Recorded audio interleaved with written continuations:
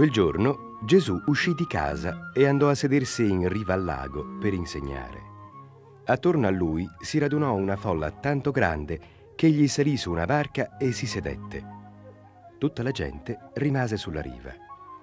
Gesù parlava di molte cose servendosi di parabole. Diceva, Un contadino andò a seminare e mentre seminava, alcuni semi andarono a cadere sulla strada. Vennero gli uccelli e li mangiarono. Altri semi, invece, andarono a finire su un terreno dove c'erano molte pietre e poca terra. Germogliarono subito perché la terra non era profonda, ma il sole, quando si levò, bruciò le pianticelle ed esse seccarono perché non avevano radici robuste. Altri semi caddero in mezzo alle spine e le spine crescendo soffocarono i germogli.